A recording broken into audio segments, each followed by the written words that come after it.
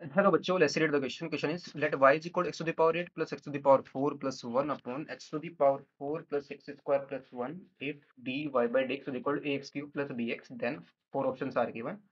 यहाँ पर हमें a एंड b की वैल्यू फाइंड करनी है a एंड b की वैल्यू हमारी क्या आएगी क्वेश्चन में y इज़ इक्वल टू क्या गिवन है x to the power 8 plus x to the power 4 plus 1 upon x to the power 4 plus x square and plus कितना है 1 है इसको हम लिख सकते हैं, y is equal to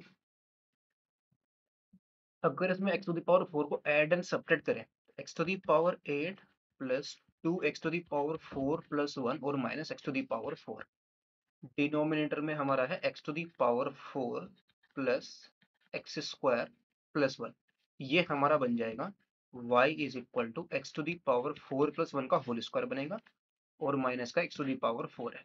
denominator में x to the power four plus x square plus one तो this implies finally a square minus b square की आइडेंटिटी यूज़ करेंगे x to the power four plus x square plus one आएगा, और into x to the power four minus का आएगा x square और plus का one आ जाएगा। अपॉन में क्या है? X to the power four plus x square plus one है, ये कैंसल आउट हो गया। तो finally y is equal to आया x to the power four minus x square plus one आया।